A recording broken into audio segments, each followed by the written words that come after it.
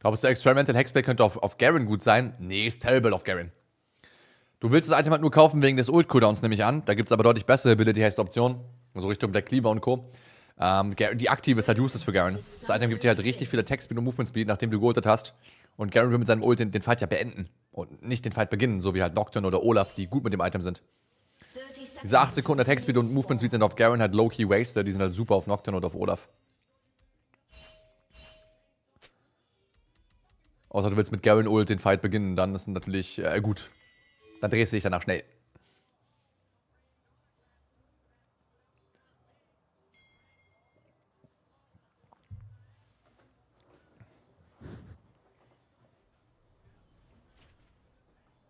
Mit Garen brauchst du Infinity Edge dringend. Ohne Infinity Edge kein Damage Trust.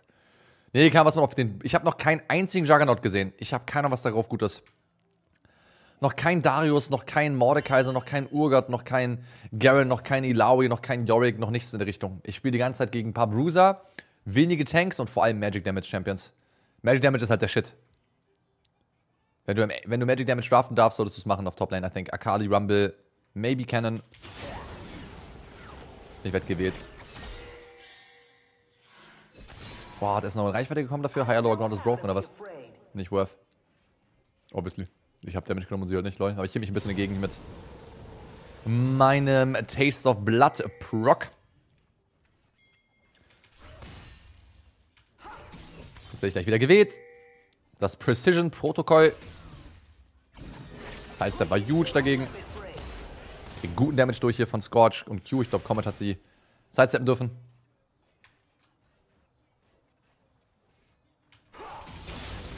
Nice, hat doch den Mini noch gemisst. Vielleicht stirbt der Mage auch noch, sieht nicht danach aus. Der Mage maybe, huge. Der Matchup ist sehr gut für Rumble und mal gucken, wie die Wände halt Camel einschränken, weil mein eines Camel-Game lief sehr gut für mich im Mid- und Late-Game, aber da sind halt Landing-Phase-Wände auch egal im Mid- und Late-Game. Bottom wurde gesolo? Ne, Mitte wurde gesokelt. Midlane kommt mal. AD Carries sind auch super populär gewesen in Champions Queue, vor allem der Lucian wurde viel angespielt. Tristana auch mittlerweile schon des Öfteren gesehen. Ja, warum nicht Kog'Maw, ne? Terminus macht dich so tanky. Klingt eigentlich alles nicht bad. Traden Damage, weil sie halt natürlich ein bisschen... Oh, hallo.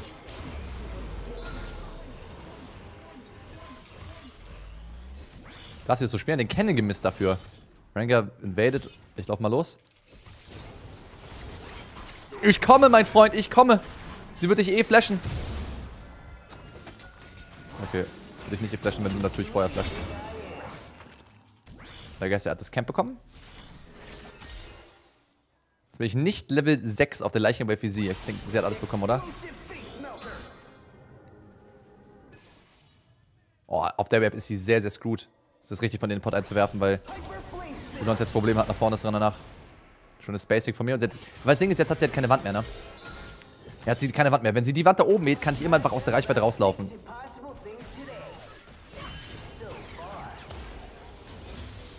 Je weiter wir in die Mitte kommen, desto leichter wird es für mich zu spielen. Oh, zwei Qs, äh, zwei As. Ja, viel Spaß beim Recon. You can do it.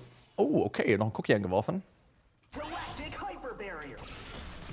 Ich weiß nicht wirklich wieso. Läuft nochmal nach vorne, kriegt zwei Pun ab, geht wieder nach hinten. Okay. Nochmal? Bin ich gegankt? Ich gewinne den Gank. Geh doch endlich Base, Woman. Muss sagen, diese grauen Haare wirken aber äußerst elegant an ihr. Die sahen auch bei Ash in den Trailer so geil aus, no joke. Gainerin hat Route die Haare komplett gesmurft im Cinematic. Ich habe eine Pokimane-Reaction geguckt, wo sie das die ganze Zeit gelobt hat, wie gut die Haare aussehen. Von der Animation her. Weil ich erinnere mich noch so an Witcher 3 2015. Nvidia her, irgendwas musstest du runterladen, modden installieren und sahen die Haare immer noch scheiße aus. Natürlich kann man es nicht wirklich vergleichen in Game mit einem Trailer, ihr wisst, was ich meine. Aber voll geil, ich habe gestern, ich habe wirklich, Leute, ihr könnt es euch nicht vorstellen, ich habe den ganzen Abend Reactions geguckt und Alter, den, den Trailer angesehen. Ich finde, das Lied ist so insane. Der Trailer ist noch cooler. Und ich habe eine Milliarde Reactions angeguckt. Die erste, die ich geguckt habe, war von, ich habe den Trailer erst alleine geguckt natürlich. War ja mit euch live im Stream, also pünktlich um 16 Uhr. Und dann habe ich bei ne ne Nekritz Kanal geguckt, Nekritz.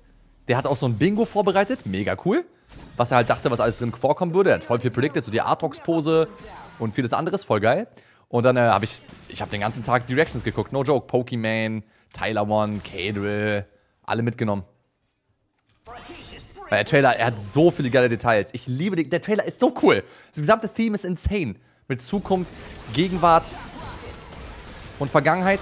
Das Ancient Demacia, wo Kale und Morgana kämpfen. Das top diven Ich kann auch one diven probably. Sie hat schon rekultiviert. Wenn sie die Buff verliert, ist alles zu Ende für sie. Uh, es ist so geil. Und dann die ganzen Details, wenn du den Trailer mal guckst, du siehst so irgendwo ein Tründermeerhelm rumliegen, die Kindred-Sachen. Es, es, ist legit so cool. Hat sich echt sehr, sehr selbst übertroffen mal wieder. Also der Trailer war letztes Jahr ja auch absolute Horse-Shit-Scheiße. Da können wir dieses Jahr einfach nur von Glück reden, dass er so geil geworden ist.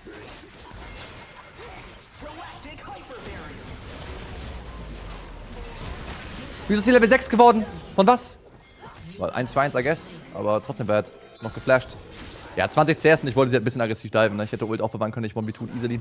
Egal, die stimmt auch noch. Die hat kein TP. Ich war halt nicht ganz fokussiert, weil ich schon wieder über irgendeine Scheiße rede. Aber es ist so, ne, alles an dem Trailer war insane. Also ich finde immer noch das Allercoolste. Oh, bitte geh gerade raus, du tankst Tom, Bro. Das Allercoolste war diese, dieser Kontrast zwischen Master, äh, zwischen äh, Yasuo und, ähm, und Tründermeer. Wie sie gegen Kindred halt jeweils kämpfen. Bei Arthos ist ja auch eine Kindred zu sehen. Oh, er will Botlane gehen, das? Meine Wave Slowpush ist okay, ich kann eine Wave catchen. Okay. Das ist so cool. Weil er, ne, er schließt halt die Augen und er tritt den Ton entgegen, da kommt der Kindred-Fall und schießt ihn ab. Er stirbt und dann Übergang zu Tundra mit seinen rot glühenden Augen. Wer nicht sterben möchte, weil er so sauer ist, die Undying Rage hält ihn am Leben. Und dann wie Kindred halt, das war das erste Mal, dass Kindred im Trailer drin ist. Ihr wisst, ich bin ein großer Kindred-Konnoisseur, ich liebe den Champion, ich habe schon sehr viel gespielt in Solo-Queue und auch generell im Jungle habe ich einen ganzen Account für gehabt, um nur Kindred zu spielen. Für eine Ewigkeit. Und dann ist ehrlich mal im Cinematic drin und dann Wolf und sie sind halt so geil. Auch wenn Kindred im Game so wäre, wie sie im Trailer wäre, wäre es so insane, weil im Game ist ja quasi, man denkt, man spielt nur das Lamm, aber man spielt ja eigentlich auch den Wolf. Das sind ja Kindred Spirits. Es ist ja gar kein weiblicher Champion. Man denkt immer, Kindred wäre weiblich. Aber sie ist ja gar nicht weiblich. Sie ist ja eigentlich einfach Kindred Spirit halt. Wolf und Lamm. Aber man spielt halt nur, den Wolf, äh, nur, nur das Lamm in League of Legends eigentlich. Und der Trailer war halt beides. Und dann ist es so cool. Wie Kindred so verwundert anguckt, als Trünnemeer nicht sterben will. Sie versteht aber nicht, warum will das Wesen nicht den Tod akzeptieren. Es war doch klar, dass es stirbt. Ja, ist ja, Kindred ist ja Death personified.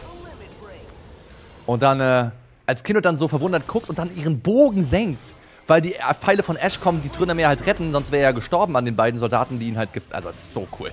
Es ist so fucking cool. Und dann verschwindet Kindred und äh, du siehst so ganz kurz, bevor Ashs Gesicht sichtbar ist, siehst du so Kindreds Gesicht, wie es so wegraucht in ihrem Gesicht und dann ist Ash revealed. Das ist so cool. Legit, das ist so fucking epic. Auch die Idee, dass Tründermeer, wenn immer er ultet, gegen den literally, gegen den Death, gegen den Tod selbst in Person kämpfen muss, ist auch so fucking badass. Das ist so cool. Weil es veranschaulicht natürlich nur der Trailer, dass halt gerade gegen irgendwelche Freljord-Soldaten da kämpfen musste, gegen wen auch immer, irgendwelche Stammkriege, wer weiß, Winter's Claw, gegen die Avarosa oder was auch immer. Gibt es ja eine Milliarde Stämme im Freljord. Ich glaube, Winter's Claw, Avarosa und die Frozen Watchers oder so. Lissandra, Sejuani, Ash. Und äh, es ist einfach geil. Jedes Element vom Trailer war geil. Das alte Ionia, auch diese Idee, dass Yasune, dieser Krieger, der gejagt wurde zu Unrecht, er hat diesen Ältesten gar nicht getötet, aber alle denken, er war's. Und dann jagt sein eigener Bruder ihn, er muss seinen eigenen Bruder umbringen, bla bla bla. Und dieser Krieger kommt zur Ruhe, lebt in irgendeinem Dorf, er chillt und dann Jahrzehnte später, nachdem er hoffentlich ein gutes Leben gehabt hat, als einfach so ein Dude im Dorf muss er noch ein letztes Mal versuchen, ja, das, das Schwert zu ergreifen, die Bewohner zu beschützen. Fucking epic. Dann stirbt er einen, ja, eigentlich relativ süßen Tod, also ein, relativ nice.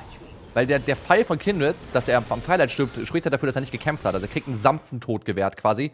Und wenn du halt campst und dich dem Tod war... Oh, scheiße, ich gerade Dann, holt, dann reißt dich der Wolf. Okay, wollen wir mal League of Legends spielen, Tolkien?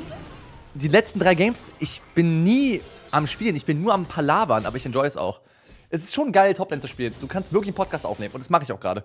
Es ist Podcast Tolkien. Scheiß Evelyn.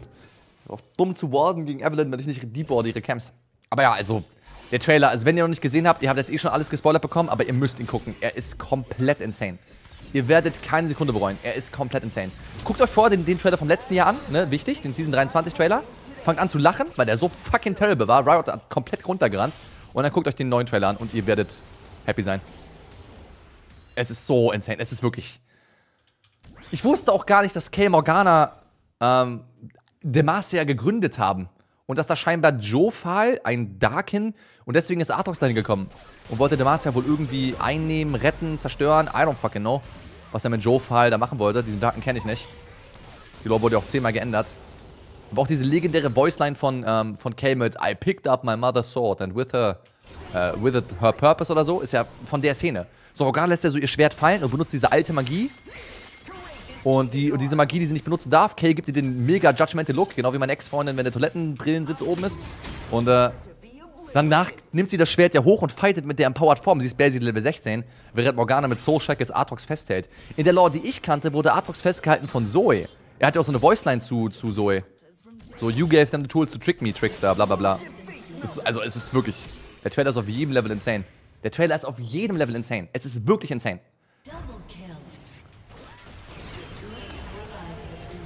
Ich wünsche, ich hätte First Strike.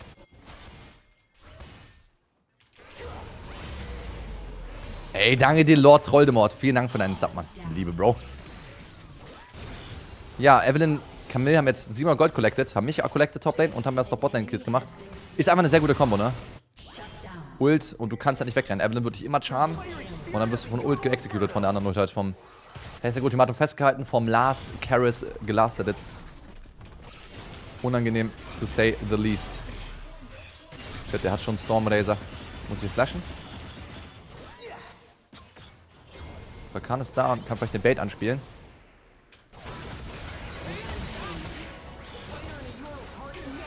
Der Bait wurde angespielt. Oh, ich bin da gestorben. Der hat noch geheilt.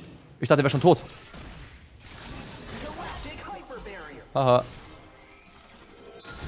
Ich dachte, sie hat Flash. Ich war mir nicht sicher.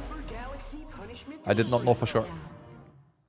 Weil ich kann nicht zulassen. Wenn ich zu spät flashe gegen Import Autotext, kannst du halt nicht mehr wegflashen, ne? Import Autotext kann man nicht canceln, man kann sie nicht flashen. Deswegen muss ich da versuchen zu predikten oder ich bin einfach dead und verliere dann mein Flash für nichts. Das ist halt sehr, sehr schwer. Also lieber flashen und ja. Ich habe 40 CS die drei Platten bekommen. Ich habe Toplane sehr hart gewonnen, auch wenn wir nicht so fokussiert waren, wie hätten sein können. Aber you know, sometimes in life, you gotta do what you gotta do. Danke dir Starscourge und Janivo. Vielen Dank. Toring, es gibt noch ein Detail im Trailer, was bisher niemand irgendwo gesehen hat. Im Fight von Trundermann Kindet beißt der Wolf einmal in die Schulter bzw. den Schulterpanzer und er lässt eine ordentliche Spur. Die ganzen Theorien von wegen Kind ist nur eine Illusion, dass Trundermeer gegen sein Sterben kämpft, ist also falsch. Kindle kann dich tatsächlich verwunden und nicht nur töten. Also, obviously ist Kindle ein reales Wesen in der League of Legends Lore. Obviously. Und wenn Kindred wirklich Trundermeer killen will, dann ist Trundermeer tot, obviously. Er ist einfach nur ein Barbarenkrieger, der wütend ist. Kindred ist, ist der Tod. Ein Ancient Wesen. Äh, mein Lasted, by the way. Wichtig. Ähm... Jetzt gucken wir uns gleich mal gemeinsam an, ob du recht hast. Also, es kann doch einfach sein, weißt du, das ist ja schon einfach ein Symbol, dass er gerade gegen andere Dudes kämpft. Du siehst auch, die sind die ganze Zeit umzingelt. Er lag da vor dem Boden mit Leichen um sich herum. Also, er hat safe halt gegen irgendwelche Dudes gekämpft. Er hat nicht gegen Kindred selbst gekämpft. Vielleicht hat ihn irgendwas anderes gebissen oder da verwundet oder irgendwie diese, diese Spur hinterlassen, you know? Dann können wir gleich nochmal reingucken. Können wir gleich nochmal gemeinsam reingucken. Aber ich bin mir sehr sicher, dass es das ist, was es bedeutet, Broski. Weil, also, Du siehst ja auch Kindred bei Yasuo, du siehst Kindred auch bei Kale und Dingens. Ist halt, wo immer jemand stirbt oder sterben könnte, erscheinen die Kindred Spirits. Und ja, reißen dich halt, jagen dich. Gewähren dir einen sanften oder einen schmerzhaften Tod. Abhängig von dir. Hast du Spaß, Kamel? Oder verbrennst du hier oben? Loser. Deinem scheiß Triforce. Genervtes Triforce, genervte Wände, kein Divine Sandra mehr. Viel Spaß. Okay Kamel zu spielen. Ich werde es nicht machen, bis sie nicht gehotfix buff wird. Oh, du brennst, das ist schön. Oh ja, du brennst. Wieso? Ich habe Toba genommen, weil sie noch gebracht ist an die Andris. Weil es nicht verbrannt. Er wisst nicht, wo Evelyn ist, ne? Okay, komm, komm. Spann alles an, Tolkien. Wenn du Evelyn stirbst. First Turret. Ach, huge. Worth. Turret, Camille und Evelyn. Wir wussten, wir können nicht sterben, aber we did not care. Vollkamel gekillt. Hat die überhaupt einen Assist bekommen? Die ist an der Harpune gestorben, die in der Luft war. Ich glaube, der hat keinen Assist bekommen, oder? Nicht sicher.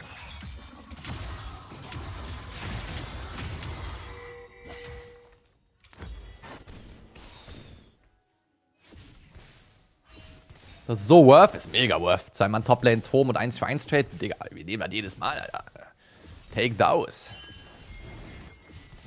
I need you. Mit der DP für die Wave. Danach ab zum Herald. Tolkien nice, Tolkien nice. Ganz genau, das war sehr, sehr Tolkien nice. Ey, danke der John oder so. Liebe, Bro. Kein Bock auf Herald, die kriegen immer zwei Bounties mit Herald. Mindestens. I don't want this. Ich check mal für mein Team, ich mach das. Ich als Toplaner. Okay, wir Triforce fertig. Sie ist nicht mehr so schwach wie zuvor. Sie durchaus mehr Damage, aber ohne Threefold Strike. Oh! Schade. Ja, kommt mit einem Spiel, damit haben wir nicht gerechnet. Oh. Die Broken Storm Search Toll gehen sehr OP. Evelyn ist hier, Kami könnte auch kommen. Ein Hit und weg. Evelyn ist Botlane. Trotzdem weg. Gewinne ich von One? Ich gewinne von One Problem immer noch. Um so rumgelaufen. Sie weiß nicht, was ihr widerfahren ist. Sie ist so verwirrt. Warum kommen die Leute jetzt wieder gespawnt? Die geben keiner meine Position preis. Mehr oder minder. Tolkien Lowry ist Giga broken. Ähm, okay, wieso? Ich schreie nicht nein, aber du musst mich überzeugen, warum ich ja schreien sollte. Also, damit die Lowry Giga broken ist, braucht es eine andere Meta, als die ich aktuell sehe. Die Leute sind viel zu mobil für sie und viel zu ranged. Also, wenn du mir jetzt sagst, sie kauft Terminus und damit ist ihre W verbuggt und sie prockt Terminus auf einem W dreimal, dann maybe OP. No, ich, ich lass mich überzeugen. Du musst mich bloß überzeugen. Jump rauf! Hol den Double Kill. Die beiden hassen mich. Bam! Schöner Flash-Kamel. Webplate. Weil Tentacles. Ich liebe Tentakeln. Das neue Item, das hielt 750 Crit, kann sie... Dann kann sie Bruiser one-hitten. Du meinst Sundered Sky auf Ilawi und das ist aus deiner, aus deiner Sicht deswegen gut. Aber es hat ja ewig cool auf die gleiche Person. Ne? 6 Sekunden pro Ziel. Das ist halt einfach ein schlechteres Divine Sandra, ne? Es ist ein schlechteres Divine Sandra. Du willst mir sagen, und Ilawi hat nicht mal Divine Sandra gekauft, sondern lieber Iceborne Gauntlet, als es Divine Sandra noch gab. Also wenn das der Grund sein soll, dann bin ich aber mindblown. Sorry, Broski. Wenn das der Grund ist, dann würde ich erstmal Nein schreien. Ich schreie nicht laut Nein, aber du kriegst von mir ein Nein. Die Heilung ist halt schlechter, der Crit-Damage ist weniger Damage als der von Divine Sandra. Proc ist einfach ein schlechteres Divine Sandra. Es ist einfach nicht so gut. Das ist ein Item mit Ability Haste, Leben 80, gibt gleichen Sets wie Divine Sandra, basically von Konzept her. Und heilt dich dann halt und macht Damage. Das ist einfach schlechteres Divine Sandra. Das ist alles. Doesn't make sense, wenn die Lau nicht mehr Divine Sandra mochte. Actually, ich schreie laut nein. Es klingt terrible. Wenn das der Grund ist, dann spuck ich dir ins Gesicht. Camille kann einfach nicht spielen, die Arme. Oh, lass mal den Turm jetzt aufbrechen mit unseren Void Grubs. Eins, zwei, drei, vier, fünf, sechs. Sie oh, der Drifter! das ist actually so eine coole Mechanik. Aber der geht beim Tier 1 Turm, glaube ich, ausschließlich, oder? Kannst Mitte Tier 1 und du Botlane oder Toplane Tier 1 driften. Ich glaube, Tier 2 Turrets zu driften habe ich, hab ich zumindest noch nicht erfolgreich gesehen. He's going on another ride. Ja, he's going. Okay. Ich gebe dir mal einen Jump, ne? Ich gebe dir noch einen Jump. Wir werden Anti-Pete. Ja, wir sind gedriftet.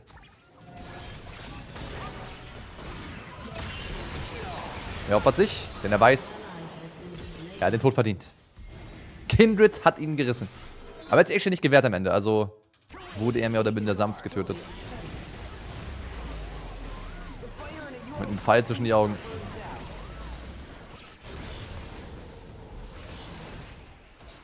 Can't read mine, can't read... Uhuhu, Kamel. Bleib stehen. Soll ich sie raufflashen? For fun? Nein, nein, nein, nicht Rough Talk. Talk. Hör auf. Kannst doch Games verlieren, wenn du zu sehr for fun spielst. Heute war bisher der for fun Tag. Game ist absolut losable. Evelyn hat schon Games gecarried mit Storm Surge. Und Deathcap ist die auch echt nicht weak. Ob ist das Game komplett gewonnen, aber okay. Mit Mighty komplett verloren. Und mein Team gerade spielt. Noch ein Death. Ich sag mir so, leichter wird's nimmer, ne? Mach's nur noch schwerer. Gewonnen ist ja schon die ganze Zeit. Können es nur noch verlieren. Wir können es nicht mehr gewinnen. Gewonnen ist es schon. Können nur noch thrown. Weil du hast keine Ult, Freundin. Also was soll das? Du stinkst, wenn du denkst, du killst mich da. Jetzt rollt! Ich bin der Smurf. Ich muss auch Kopfmaß sidesteppen da. Nice. Keine Evan Ult, keine Camille Ult. Durften sie halt nicht spielen. And we knew this, but they did not know this. I knew this.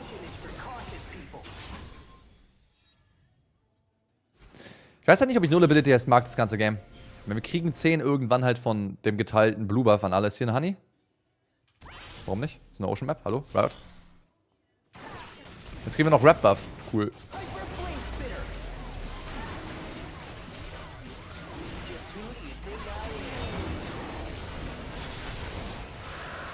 Joa, joa, joa, joa, joa, joa, joa.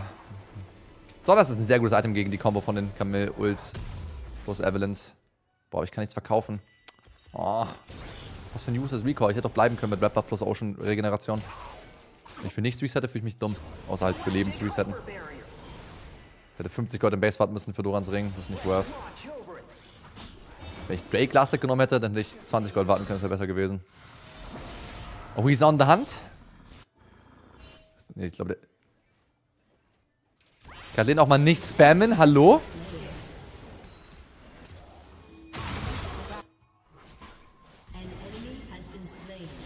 Ich liebe es. Ja, das, das ist doch ein geiles Emote. What do you mean?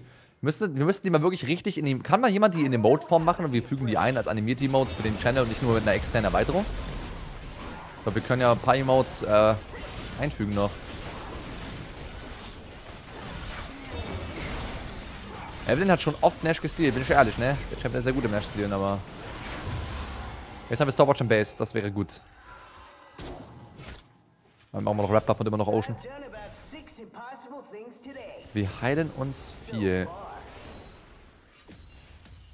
Ich muss halt die in Emote-Form eingeben können. So ein GIF ist halt irgendwie nicht... Irgendwie darf ich kein GIF eingeben. Ich weiß nicht, wie es funktioniert. Keine Ahnung, Mann. Traxi, wofür bezahle ich dich? Auch mal arbeiten. Locker schläft der Typ schon wieder. Der schläft immer. Wofür bezahle ich den Mann? Habe ich gern gemacht? Oh, er ist da. Weil du bist wach. Oh. Na meint.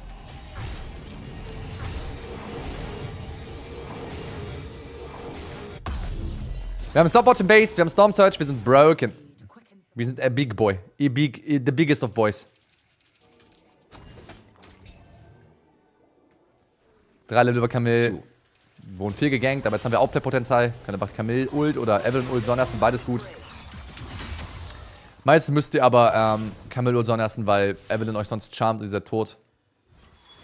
Bevor ihr überhaupt die Evelyn Ult Sonners bekommt, weil der MCC sterbt. Oh shit, die bad, mir kommt man nicht noch daran. Und BAM! Oh, echt so cringe. Wie viel Damage macht Storm Search allgemein?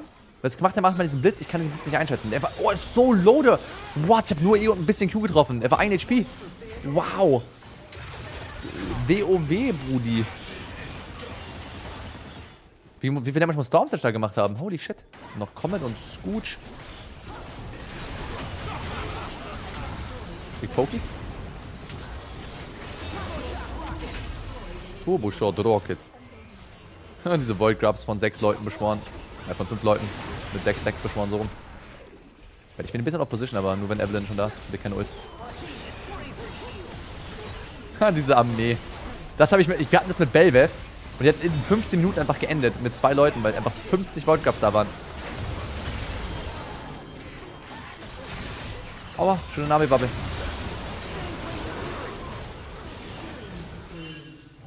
Ich habe ein Nash Reset für 40. I could base and DP back, Team. Oder ich kann auch einen Camp haben. Für mein Sonias Aeroclaws. Bitte lass mir das, bitte lass mir das. Danke. Okay, I guess ich kann Dorans Ring verkaufen, wenn er unbedingt die Krabbe haben will. Er hätte ja mir lassen können, müsste ich Doran Ring verkaufen. Ich liebe Dorans Ring, das ist fucking OP. Egal, kaufen Pink God, ist okay. Frisches neue Sonjas. Sonjas ist auch so geil jetzt auf Rumble. Auf Rumble und Canon lieben das neue Sonjas. So viel AP, dass du es kaufen kannst, ohne runterzurennen. Genau wie früher, bevor Mythic Items da waren. Und es gibt keine Ability Haste mehr. Was auch geil ist auf Rumble und auf Canon. Auf Vladimir ist natürlich nicht so geil, aber auf Canon und Rumble geil. Die Champions wollen nur ganz wenig Ability Haste haben. Ich habe fairerweise gar keine Ability Haste. Außer Blue Buff. Aber ich kann auch nur Protobelt kaufen. Das ist verrückt, ne? Es gibt nur ein einziges Item aus Finish Codex, das wir wirklich kaufen können. Look at this. Actually Horizon Focus. Morelos und Horizon Focus können wir kaufen. Riftmaker ist nicht so gut gegen, gegen Range Champions. Riftmaker kann gut sein gegen viele Melee Champions. Ups. Aber ja, da müssen wir so eine Conqueror Draft anspielen. Dann ist Riftmaker okay. So eine Conqueror gegen Sion und Maokai Jungle und dann Alistair Support oder sowas. damit sich das lohnt. Cosmic Drive ist zu viel Ability Haste, aber ist nicht terrible. Kann man auf jeden Fall kaufen nach den Rumble Changes. Hast ja 150 Heat statt 100. Also du kannst schon ein paar mehr Spells casten, bevor du überhitzt. Da lohnt sich Ability Haste ein bisschen mehr. Hallo. Schon wieder mit E überhitzt? Junge, ich troll so hart. So, das dritte Mal heute, dass ich mit E überhitzt bin. Wenn es schlecht war.